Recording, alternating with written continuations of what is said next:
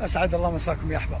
بقول لكم قصة حقيقية قريتها وعجبتني وبعلق عليها تعليق سريع بعد من باب الفائده القصة تقول إن واحد من الشباب يودي زوجته يوصلها المدرسة مدرسة زوجته. فكل ما يوصل عند باب المدرسة ينزل هو يفتح لها الباب ويخليها تنزل من السيارة.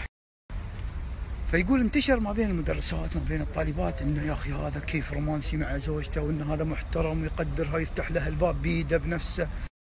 والكل مستغرب من هذا الفعل. هذا فعل يعني اليوم كأنه شيء غريب سبحان الله. يقول هم ما يدرون إن أصلا باب السيارة خربان ما ينفتح إلا من برا. وأنا أدري إن الآن بعد بتجيني تعليقات بيقولون غريبة والله. ها رجال من البلاد عندنا؟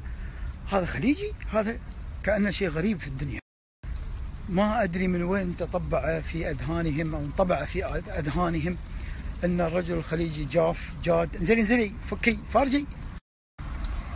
والله أحباب ليس يعني من باب التزكية والمدح أنا أفتح الباب لزوجتي وهذا لا ينقص من قدري بل يزيدني حبا واحتراما وتقديرا عندها.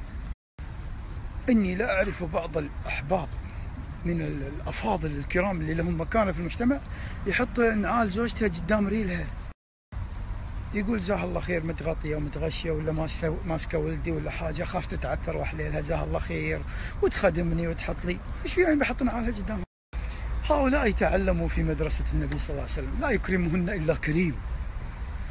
فالكريم يكرم أهله. هم حق الناس بإكرامك. ولا تستغربون والله إن مثل هذه الصور الجميلة الرائعة الصور النموذجية مو نموذجية هكذا طبيعتهم أصلا. لكن والله ما أفسد العقليات وأفسد الانطباعات وأفسد الأفكار والآراء إلا هالأفلام والمسلسلات. الله يصلحنا قولوا آمين.